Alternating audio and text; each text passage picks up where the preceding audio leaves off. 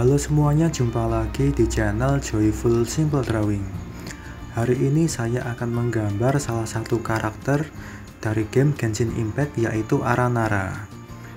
Jangan lupa untuk like dan juga share jika video ini menghibur dan selamat menonton.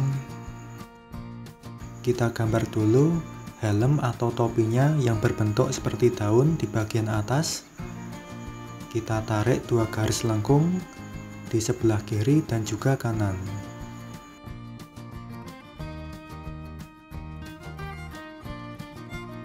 Lalu bawahnya kita tarik garis juga, tapi kita sisakan cekungan kecil seperti ini.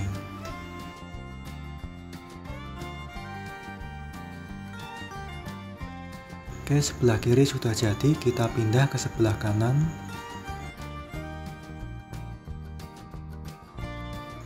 Sedangkan untuk wajahnya, kita gambar setengah lingkaran.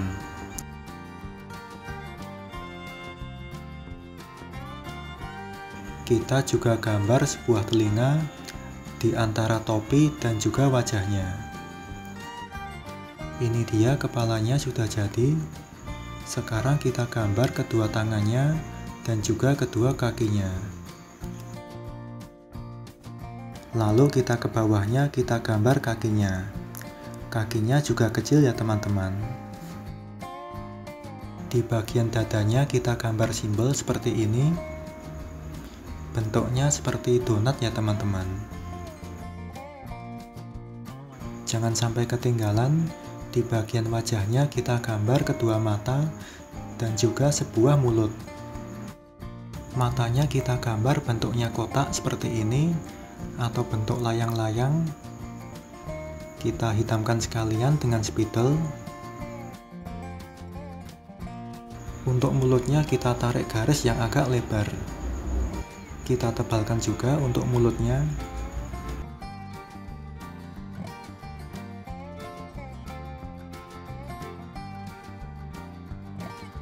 Di bagian topinya atau kepalanya kita tambahkan motif berupa garis-garis bentuknya kira-kira seperti ini.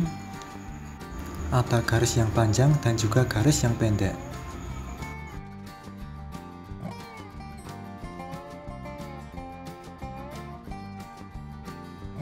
Oke seperti ini sebelah kiri sudah jadi.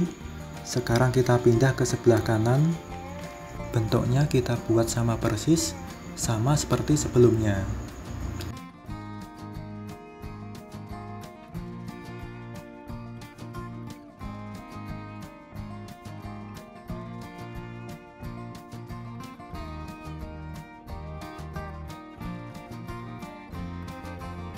Terakhir di bagian paling atas, kita gambar dua buah daun lengkap dengan tangkainya.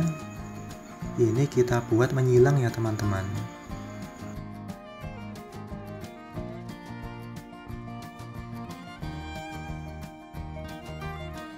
Agar persis seperti contohnya, kita beri warna dengan oil pastel ataupun pensil warna.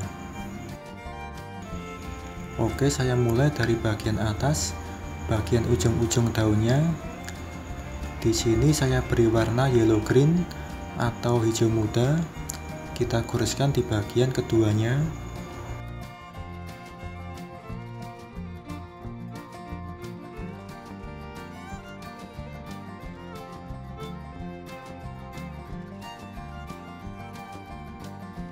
Setelah itu di bagian bawahnya ini kan ada tangkainya ya teman-teman kita beri warna grass green atau hijau rumput.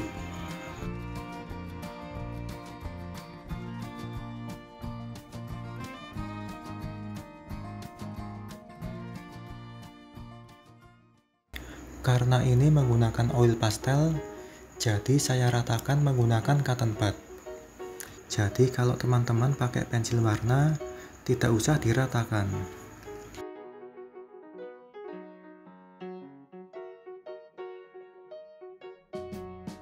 Kita ke bawahnya kita gosok-gosok di sepanjang tangkainya.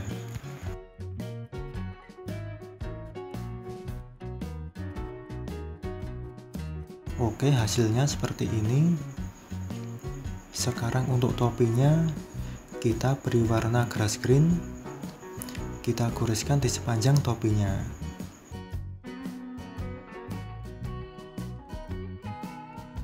kecuali untuk garisnya kita biarkan putih ya teman-teman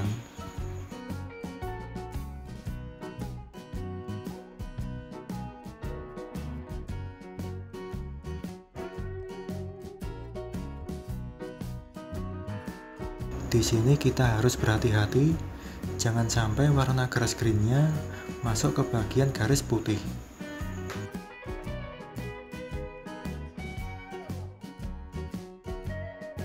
Sama seperti sebelumnya, kita gosok-gosok pakai cotton bud mulai dari atas. Oke, saya gosok-gosok mulai dari atas ke bawah.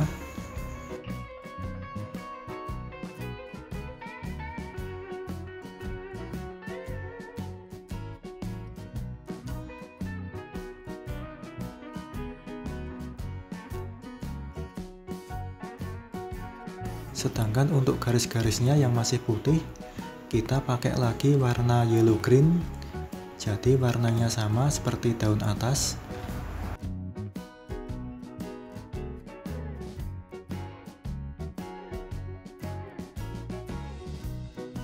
Jika dirasa sudah cukup, saya akan usap-usap lagi menggunakan cotton bud.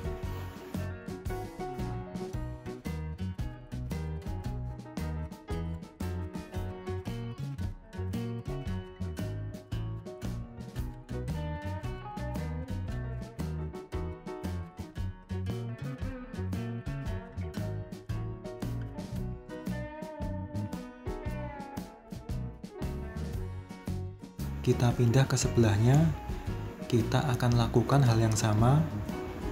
Warna grass green atau hijau tua kita goreskan di bagian pinggir-pinggir. Sedangkan yellow green atau hijau muda kita goreskan di bagian garis-garisnya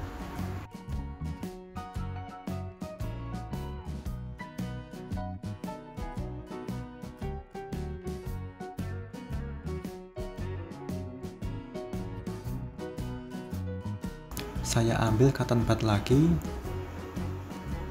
kita gosokkan sampai merata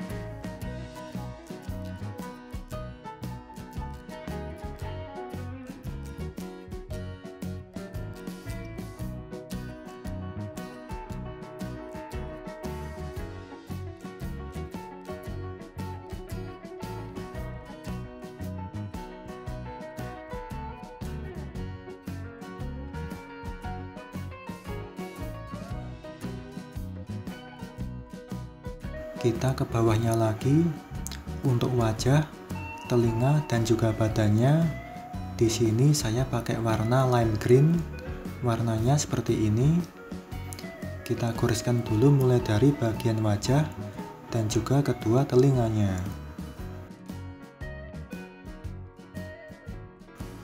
Ini ada mata dan juga mulutnya. Kita tutup saja tidak apa-apa karena nanti kita bisa tebalkan lagi dengan spidol hitam.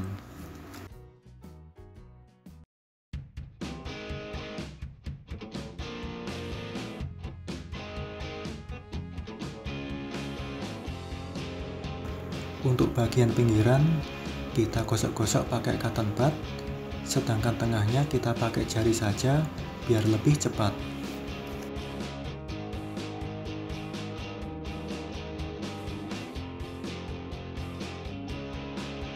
Jangan lupa untuk ujung telinganya kita pakai warna yellow green. Kita beri sedikit saja di bagian pojok.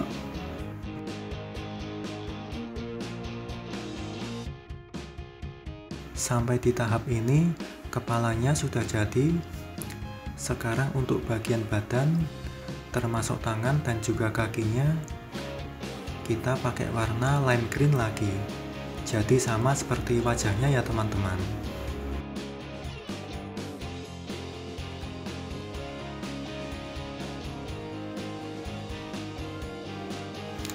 setelah itu kita rapikan lagi sama seperti biasanya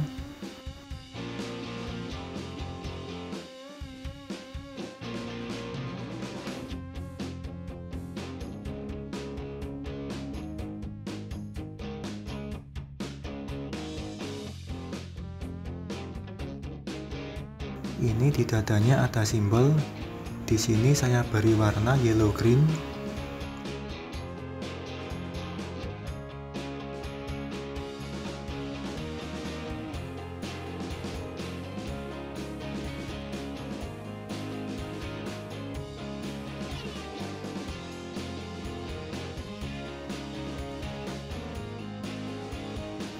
Terakhir sebagai tambahan, di sini saya beri efek bayangan atau arsiran menggunakan warna yellow green.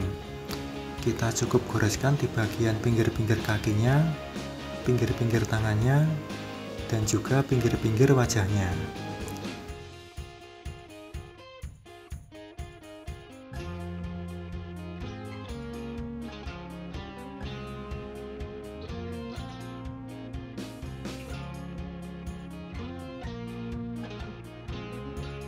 Kita gosok-gosok sedikit pakai cotton bud atau jari.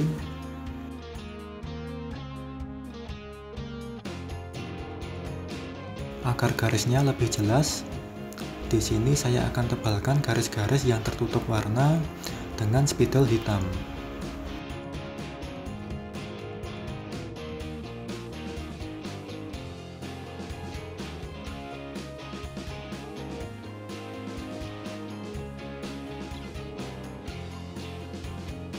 Termasuk mata dan juga mulutnya kita hitamkan lagi.